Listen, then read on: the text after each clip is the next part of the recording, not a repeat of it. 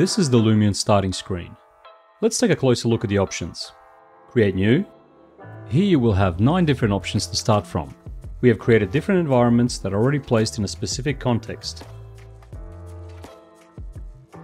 Under example scenes, you have access to 9 different scenes to inspire you.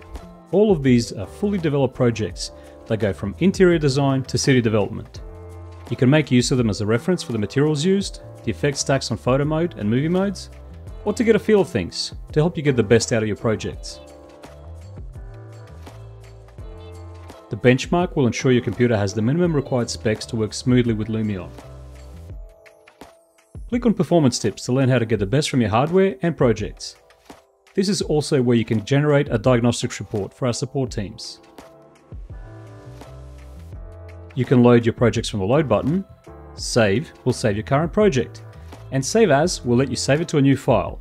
This is great for backups or when making changes to your project.